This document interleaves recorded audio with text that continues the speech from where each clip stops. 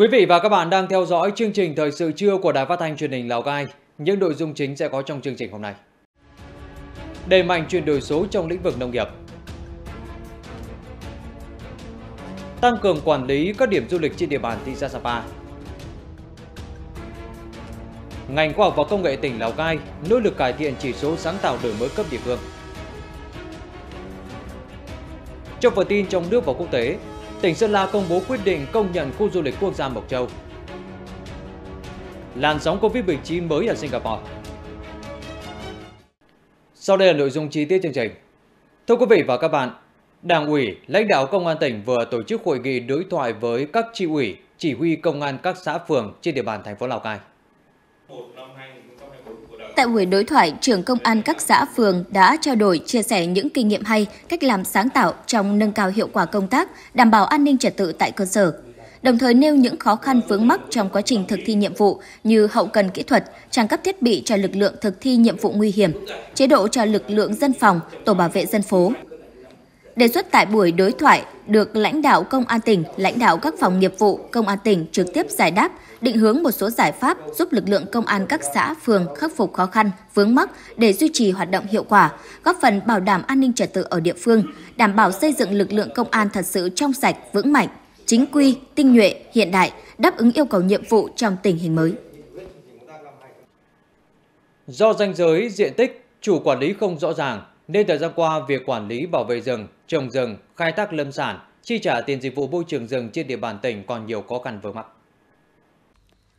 Lào Cai đang tập trung triển khai thực hiện quyết định số 86 của Ủy ban Nhân dân tỉnh về việc phê duyệt điều chỉnh đề án tăng cường quản lý đối với đất đai có nguồn gốc từ nông lâm trường quốc doanh trên địa bàn tỉnh. Mục tiêu là hoàn thành việc giả soát, xác định nguồn gốc sử dụng đất, phân định danh giới thực tế của các đối tượng đang sử dụng, xác định cụ thể phần diện tích các ban quản lý rừng phòng hộ, khu bảo tồn thiên nhiên và phần diện tích bàn giao về cho địa phương quản lý sử dụng. Xác định rõ ranh giới, diện tích đất rừng do Ủy ban Nhân dân cấp xã, cộng đồng dân cư quản lý sử dụng. Phấn đấu trước ngày 30 tháng 12 năm 2024, hoàn thành kê khai đăng ký, cấp mới, cấp đổi giấy chứng nhận, tích hợp cơ sở dữ liệu đất có nguồn gốc nông lâm trường quốc doanh vào cơ sở dữ liệu chung của tỉnh.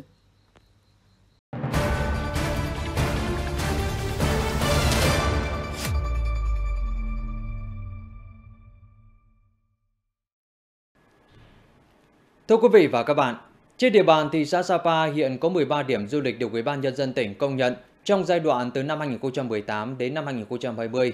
Cho đến nay, tất cả các điểm du lịch này vẫn duy trì hoạt động và được ngành chức năng và địa phương giám sát quản lý chặt chẽ. Điểm du lịch tư nhân Vườn Hồng Mộng Mơ Sapa của gia đình anh Đỗ Phú Chính ở tổ 2, phường Âu Quý Hồ, thị xã Sapa được Ủy ban nhân dân tỉnh công nhận từ năm 2020. Với diện tích hơn 20.000 m2, điểm du lịch này được đầu tư đầy đủ theo tiêu chí của ngành du lịch như diện tích, không gian, cảnh quan, môi trường, cơ sở hạ tầng, đáp ứng cho khoảng 300 đến 400 khách. Các hoạt động đều tuân thủ theo quy định của nhà nước và tiêu chí của ngành du lịch. À, mình khi từ khi bắt đầu được tỉnh công nhận là điểm du lịch thì mình cũng à, đã chấp hành đầy đủ các cái quy định, nội quy và quy định của ngành du lịch. Vâng cũng báo cáo à, hàng tháng về sở du lịch để chấp hành tất cả các cái nội quy cái quy định của pháp luật để ra phòng cháy chữa cháy rồi nói chung là đầy đủ. Còn đây là điểm du lịch Thác Bạc tại địa bàn phường Ô Quý Hồ. Môi trường được đảm bảo xanh, sạch đẹp, đảm bảo an toàn cho du khách tham quan. Hoạt động bán vé được quản lý chặt chẽ, minh bạch thông qua hệ thống công nghệ thông tin. Cái nội quy là bán vé đúng nghiêm túc với hai nữa là à, hướng dẫn khách du lịch đi trong thời gian đi tham quan là đảm bảo an toàn còn về công tác vệ sinh là, là, là chúng tôi cũng chủ động đôn đốc dọn dẹp sạch sẽ môi trường phong quang Hiện điểm du lịch Thác Bạc còn một số bất cập do bãi đỗ xe và công trình nhà vệ sinh đã được quy hoạch và xây dựng trước đây nằm xa khu vực tham quan, gây bất tiện cho du khách. Ban Quản lý Phát triển Du lịch và Di tích thị xã Sapa đã xây dựng đề án để cải tạo theo tiêu chuẩn của điểm du lịch đã quy định. Đề án thì chúng tôi đã xây dựng và gửi lên ủy ban thị xã rồi thì à, sẽ trong năm nay sẽ tái tạo và sẽ sẽ tu sửa cũng như là à, cải tạo lại toàn bộ để mà đúng theo chuẩn của cái à, mà tiêu chí của sở du lịch đã đi kiểm tra và chúng tôi theo thông báo kết luận đó. Về cơ bản thì uh, chúng tôi đánh giá là các khu điểm du lịch trên địa bàn thị xã Sapa đều ờ, hoạt động tốt và đảm bảo chất lượng. Uh, duy chỉ có các cái điểm du lịch cộng đồng hiện tại bây giờ thì uh, các do các điểm đã được thành lập theo cái tiêu chí của luật du lịch cũ nên là khi mà luật du lịch mới có hiệu lực từ năm 2018 thì một số các cái tiêu chí cũng đã um, hơi bị đuối nên là hiện tại bây giờ là phòng văn hóa thông tin thì cũng đang tham mưu cho các đồng chí lãnh đạo ủy ban nhân dân thị xã Sapa về việc là tiếp tục uh, đầu tư chấn chỉnh để đạt được cái tiêu các cái uh, điều kiện về điểm du lịch theo các cái tiêu chí mới mới. Sapa nay là khu du lịch quốc gia, đòi hỏi những tiêu chí khắt khe trong hoạt động du lịch. Việc quy hoạch công nhận và quản lý điểm du lịch được quan tâm sát sao, chặt chẽ sẽ góp phần tạo nên môi trường, không gian phát triển du lịch bền vững.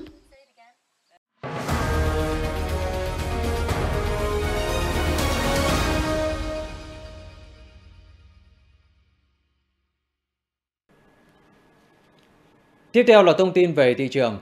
Thưa quý vị và các bạn, Chợ phiên tả phời hợp thành thành phố Lào Cai diễn ra vào mỗi sáng chủ nhật hàng tuần, mang những nét độc đáo riêng của các dân tộc vùng cao. Hoạt động mua bán tại chợ diễn ra tấp nập với nhiều nông sản và thực phẩm tươi sống, đáp ứng tiêu chí ngon, sạch, nuôi trồng tự nhiên. Chợ phiên hợp thành không chỉ đáp ứng nhu cầu của bà con bản địa mà còn thu hút rất đông người dân từ các phường trung tâm tại Lào Cai tìm đến. Tại đây có đầy đủ các loại nông sản với đủ các mặt hàng như thịt lợn, thịt gà, thịt bò, gạo, rau củ quả với giá thành rẻ hơn so với các chợ trên địa bàn thành phố. Cụ thể, giá thịt lợn đen như thịt mông, vai, ba chỉ có giá từ 90.000 đồng đến 120.000 đồng một kg, thịt bò giá 220.000 đồng đến 230.000 đồng một kg, thịt trâu giá 180.000 đồng đến 230.000 đồng một kg. Thịt dê núi được ưa chuộng nhất, giá cũng cao hơn so với các loại thịt khác, giá từ 350.000 đồng đến 380.000 đồng một kg. Các loại gà mía, gà lai trọi giá từ 60.000 đồng đến 100.000 đồng một kg, tùy từng loại. Vịt giá từ 80.000 đồng đến 90.000 đồng 1 kg. Gà vịt ngan giống giá từ 20.000 đồng đến 30.000 đồng một con. Cùng với thực phẩm tươi sống, các loại nông sản cũng được người dân bày bán nhiều như khoai sọ, khoai tây, khoai lang, củ mài, giá từ 10.000 đồng đến 20.000 đồng 1 kg. Măng sật 50.000 đồng 1 kg. Thời gian qua, hoạt động ứng dụng chuyển đổi số trong ngành nông nghiệp tỉnh Lào Cai tiếp tục được triển khai hiệu quả. Đến nay đã cập nhật thông tin của 146 chuỗi sản phẩm trên hệ thống thông tin quản lý chuỗi nông sản an toàn. Việc ứng dụng chuyển đổi số cũng được tăng cường trong xúc tiến thương mại, mở rộng thị trường, kết nối đưa nông sản của tỉnh lên các sàn giao dịch thương mại điện tử. Trong quản lý vệ sinh an toàn thực phẩm, xây dựng mã số vùng trồng, truy xuất nguồn gốc sản phẩm. Đến nay, 100% sản phẩm OCOP đã lên sàn thương mại điện tử và trang thông tin xúc tiến thương mại. Trang phiên chợ khuyến nông, toàn tỉnh có 104 doanh nghiệp hợp tác xã tham gia với 328 dòng nông sản an toàn được cấp mã QR code. 201 doanh nghiệp, hợp tác xã tham gia tương tác, giới thiệu quảng bá với 350 dòng sản phẩm tham gia. Thưa quý vị và các bạn, sau một năm triển khai, lần đầu tiên chỉ số đổi mới sáng tạo các địa phương năm 2023 đã được Bộ Khoa học và Công nghệ công bố. Dựa trên bộ chỉ số này, các nhà hoạch định chính sách, các cấp lãnh đạo địa phương sẽ có cơ sở xác định, lựa chọn các định hướng, giải pháp phù hợp cho việc phát triển kinh tế xã hội của địa phương mình – dựa trên khoa học công nghệ và đổi mới sáng tạo. Ngành khoa học và công nghệ tỉnh Lào Cai đã có nhiều giải pháp để cải thiện chỉ số này. Bộ chỉ số đổi mới sáng tạo cấp địa phương năm 2023 có 52 chỉ số thành phần, chia làm 7 trụ cột. Theo bảng danh sách xếp hạng mới công bố, Lào Cai đạt 32,76 điểm, xếp thứ 44 trên 63 tỉnh thành phố trên cả nước và đứng thứ 6 trên 14 tỉnh vùng Trung du và miền núi phía Bắc. Từ kết quả này, Lào Cai cũng đã chỉ ra được các điểm mạnh, điểm yếu để cải thiện trong năm nay. Số doanh nghiệp khoa học và công nghệ và doanh nghiệp đủ điều kiện là doanh nghiệp khoa học và công nghệ là một trong những chỉ số thành phần đang được tỉnh đẩy mạnh thực hiện. Như tại doanh nghiệp này, đơn vị đang kinh doanh các sản phẩm điện năng lượng mặt trời. Trong đó, pin lưu trữ điện năng lượng mặt trời được doanh nghiệp tự lắp ráp, góp phần giảm một nửa chi phí cho khách hàng. Hiện doanh nghiệp đang xây dựng và hoàn thiện các thủ tục, phấn đấu được công nhận là doanh nghiệp khoa học công nghệ trong thời gian tới rất cần các cái chính sách phù hợp với điều kiện à, Lào Cai để chuyển dần à, sử dụng năng lượng truyền thống sang năng lượng xanh, năng lượng tái tạo. Trong đó thì các cái nội địa hóa về công nghệ giúp phần à, hỗ trợ tăng tính cạnh tranh về phát triển thị trường của năng lượng. Cũng là một trong những doanh nghiệp được chọn để ươm tạo trở thành doanh nghiệp khoa học công nghệ. Công ty này đã không ngừng đầu tư, áp dụng máy móc kỹ thuật tiên tiến vào quy trình sản xuất. Nhờ đó, năng suất tăng gấp đôi, mẫu mã chất lượng sản phẩm được cải thiện. Thứ nhất là mình có một đội ngũ cán bộ rất là lành mạnh ờ, đã có nhiều năm kinh nghiệm ở các ờ, mỏ và các ờ, những trường đại học. Về đầu tư máy móc thì càng ngày thì nhu cầu nó càng phát triển lên thì mình cũng đi các nước bạn như là Trung Quốc hay là đi các thành phố lớn để mình cũng học hỏi và áp dụng lên những cái công nghệ mới. Cùng với đó, để cải thiện bộ chỉ số đổi mới sáng tạo cấp địa phương của tỉnh trong năm nay, Sở Khoa học và Công nghệ tham mưu với Ủy ban Nhân dân tỉnh chỉ đạo triển khai các nhiệm vụ, giải pháp về khoa học công nghệ. Một là phải xây dựng được một cái kế hoạch tổng thể về chiến lược phát triển những cái chỉ số đổi mới sáng tạo cấp địa phương. Thứ hai là chúng ta phải tuyên truyền làm tốt công tác truyền thông. Cái thứ ba là tất cả các sở ngành huyện thị xã thành phố là phải giả soát lại tất cả những cái chỉ số.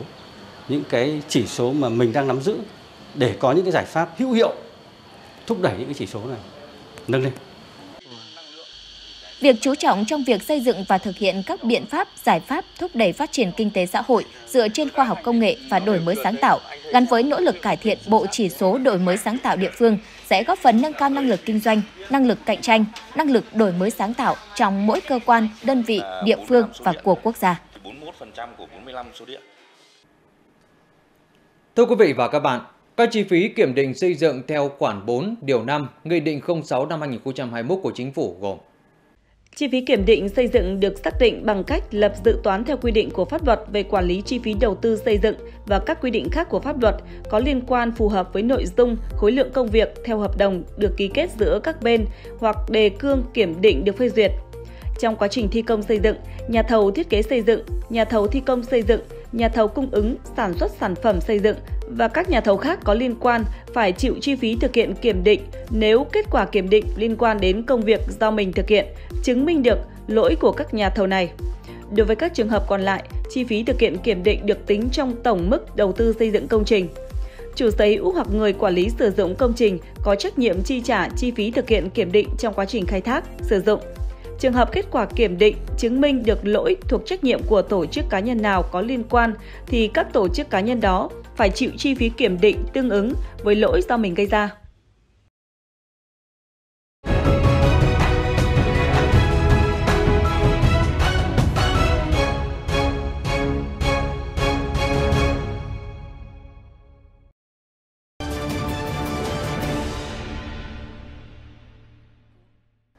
Tiếp theo chương trình, lễ hội làng Dương Đỗ, hành trình tháng năm nhớ Bắc. Du lịch Cuba đẩy mạnh khai thác thị trường mới.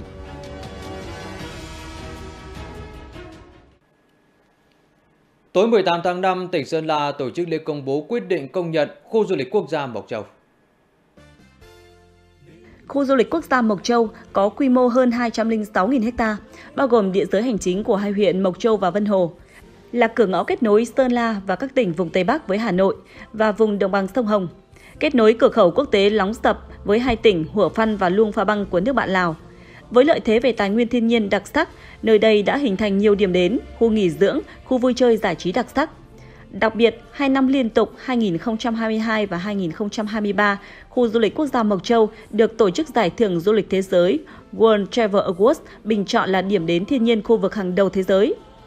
Trong khuôn khổ sự kiện, tỉnh Sơn La tổ chức hội nghị xúc tiến du lịch với chủ đề định hướng phát triển khu du lịch quốc gia Mộc Châu xanh và bền vững để giới thiệu, quảng bá, định hướng phát triển cho khu du lịch quốc gia Mộc Châu, điểm đến hấp dẫn trên hành trình du lịch Tây Bắc. Tối 18 tháng 5 tại thành phố Huế, Ngày hội làng Dương Đỗ đã khai mạc với chủ đề Dương Đỗ Hành trình tháng 5. Đây là hoạt động kỷ niệm 134 năm ngày sinh của Chủ tịch Hồ Chí Minh, 19 tháng 5 năm 1890, 19 tháng 5 năm 2024. Lễ hội diễn ra trong 3 ngày, từ ngày 18 đến ngày 20 tháng 5 tại cụm di tích quốc gia đặc biệt ở làng Dương Nỗ, nơi Chủ tịch Hồ Chí Minh đã về sống và học tập thời niên thiếu từ năm 1898 đến năm 1900. Ngày hội có nhiều hoạt động ý nghĩa như lễ rước hoa sen, chân dung Chủ tịch Hồ Chí Minh, triển lãm nét đẹp di sản Hồ Chí Minh và văn hóa làng Dương Nỗ. Ngoài ra còn có trải nghiệm văn hóa ẩm thực, không gian bài tròi, biểu diễn ca Huế, hội đua trải. Đây sẽ là hành trình đặc biệt về với di sản Chủ tịch Hồ Chí Minh, góp phần gắn kết giữa di tích với cộng đồng, giữa bảo tồn và phát huy giá trị di sản gắn với phát triển du lịch. Với mong muốn đưa thương hiệu miến rong Bình Lư ngày càng vươn xa, các hộ làm miến tại xã Bình Lư, huyện Tam Đường, tỉnh Lai Châu đã mạnh dạn đầu tư dây chuyền với kỹ thuật hiện đại, kết hợp ứng dụng khoa học kỹ thuật vào sản xuất, qua đó giúp nâng cao sản lượng, cải thiện chất lượng, mở rộng thị trường tiêu thụ. Từ năm 2022, gia đình anh Phạm Ngọc Quế đã đầu tư thiết bị để sản xuất miến rong. Trước đây để làm 50 kg bột phải mất 4 công lao động. Nhưng khi đưa máy móc vào hỗ trợ, hai vợ chồng anh chỉ làm từ sáng đến trưa đã xong một tạ bột. Quan trọng hơn là sợi miến làm ra đều, sợi bé và mẫu mã đẹp.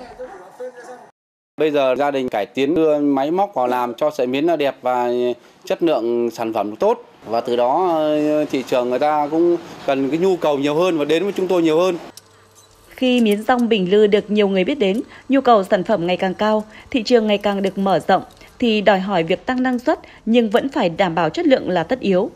Nhiều hộ làm miến rong đã đầu tư hàng trăm triệu đồng để mua máy đánh bột, ép miến, cán sợi, đầu tư xây dựng hệ thống phên phơi.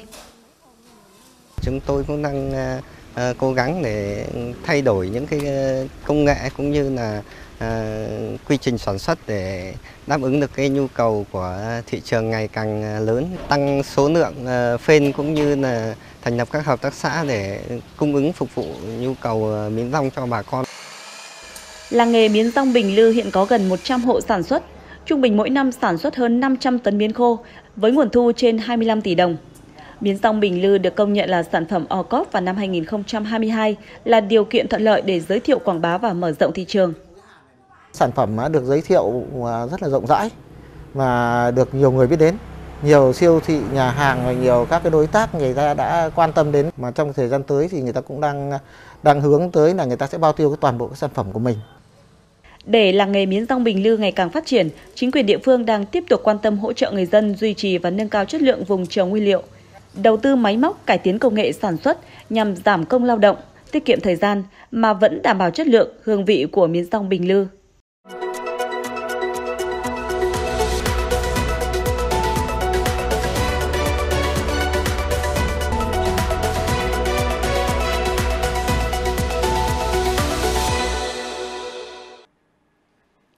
Chuyển sang những thông tin quốc tế, hai tuần sau khi Cuba miễn thị thực cho công dân Trung Quốc, quốc gia này đã đón những vị khách đầu tiên từ Trung Quốc. Lễ chào đón máy bay bằng vòi rồng đã diễn ra tại sân bay quốc tế để đón máy bay Boeing 7879 của Air China với 116 hành khách. Thủ tướng Cuba cùng các bộ trưởng đã tham dự lễ đón. Đây là chuyến bay đầu tiên từ Bắc Kinh đến La Habana kể từ khi COVID-19 bùng phát. Thủ tướng Cuba nhấn mạnh đây là giấc mơ trở thành hiện thực nhờ nỗ lực của cả hai quốc gia. Đại sứ Trung Quốc tại Cuba khẳng định sự kiện này mở ra chương mới trong quan hệ hai nước. Việc nối lại các chuyến bay thẳng giữa Bắc Kinh và La Habana giúp giảm thời gian và chi phí di chuyển, đồng thời thúc đẩy sự phát triển bền vững của ngành du lịch toàn cầu. Bộ Y tế Singapore thông báo nước này đang ở giai đoạn đầu của làn sóng COVID-19 mới, với các ca mắc COVID-19 gia tăng đều đặn. Làn sóng này dự kiến sẽ đạt đỉnh trong 2 đến 4 tuần nữa. Bộ trưởng Y tế Singapore cho biết, để bảo đảm số giường bệnh và phòng ngừa làn sóng mới nhất, các bệnh viện công đã được yêu cầu giảm các ca phẫu thuật không khẩn cấp và chuyển bệnh nhân đến các cơ sở phù hợp. Bộ trưởng Y tế Singapore cũng kêu gọi những người có nguy cơ cao nhất mắc COVID-19, bao gồm người từ 60 tuổi trở lên, những người dễ bị tổn thương về sức khỏe và cư dân tại các cơ sở chăm sóc người già, nên tiêm thêm một liều vaccine COVID-19 nếu mũi tiêm gần nhất đã được thực hiện từ 12 tháng trước. Giá vàng thế giới tuần qua tiếp tục tăng mạnh và các nhà chiến lược dự đoán kim loại quý này có thể chạm mức cao kỷ lục mới trong những tháng tới. Nhu cầu vàng tăng đột biến tại các quốc gia có truyền thống giữ vàng, trong đó có Ấn Độ, là một trong những nguyên nhân chính. Chính phủ Ấn Độ đã tăng cường các biện pháp quản lý để ngăn chặn những tác động tiêu cực từ cơn sốt vàng. Nhằm giảm tình trạng giá vàng tăng phi mã và nhập lậu vàng, chính phủ Ấn Độ đã cho phép miễn thuế nhập khẩu vàng cho ngân hàng trung ương – Quyết định này cho phép ngân hàng trung ương nhập khẩu vàng mà không phải chịu thuế hải quan cơ bản và thuế phát triển cơ sở hạ tầng nông nghiệp. Động thái này nhấn mạnh tầm quan trọng của việc duy trì danh mục tài sản cân bằng trước những bất ổn địa chính trị và kinh tế gia tăng. Giới chức Taliban cầm quyền ở Afghanistan cho biết ít nhất 50 người đã thiệt mạng sau đợt mưa lớn và lũ quét mới xảy ra ở miền trung nước này, khiến hàng nghìn ngôi nhà bị phá hủy. Nhà chức trách tỉnh Kor ở miền trung Afghanistan cho biết đợt mưa lớn hôm 17 tháng 5 đã khiến nhiều tuyến đường trọng điểm tới khu vực này bị cô lập. Hàng nghìn ngôi nhà và tài sản bị hư hại, trong khi hàng trăm hecta đất nông nghiệp bị phá hủy sau lũ lụt. Chính phủ Taliban đã yêu cầu các cơ quan hữu quan cung cấp mọi hỗ trợ cần thiết cho người dân, đồng thời kêu gọi các tổ chức nhân đạo viện trợ cho các cộng đồng bị ảnh hưởng. Afghanistan đang trải qua mùa mưa bão bất thường. Tuần trước, Tổ chức Lương thực Thế giới của Liên Hợp Quốc cho biết những đợt mưa lớn đặc biệt ở quốc gia này đã khiến hơn 300 người thiệt mạng và phá hủy hàng nghìn ngôi nhà, chủ yếu ở tỉnh Bắc Lan ở miền Bắc.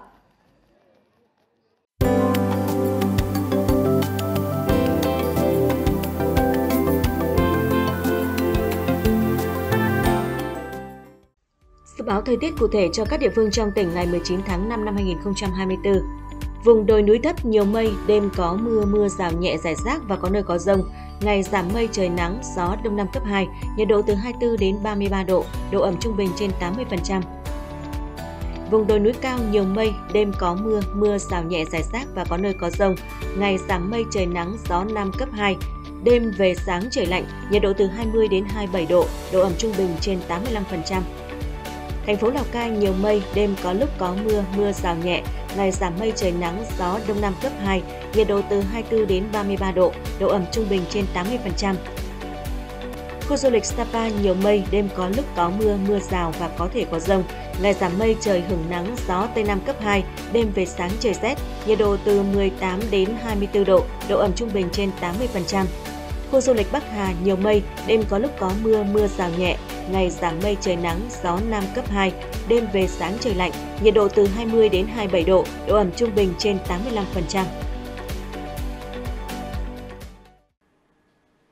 Quý vị và các bạn thân mến, chương trình thời sự của Đài Phát thanh Truyền hình Lào Cai xin được khép lại tại đây. Cảm ơn sự quan tâm theo dõi của quý vị và các bạn. Xin kính chào tạm biệt.